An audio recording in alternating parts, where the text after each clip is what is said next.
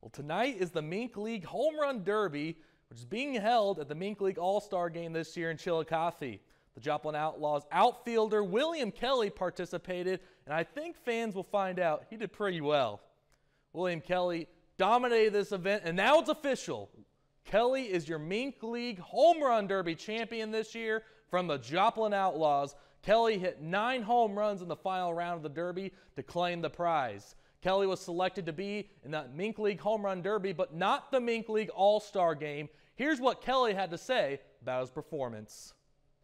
I was just expecting to come out just like I wasn't expecting to win at all. I was just come in here to see how many I can hit.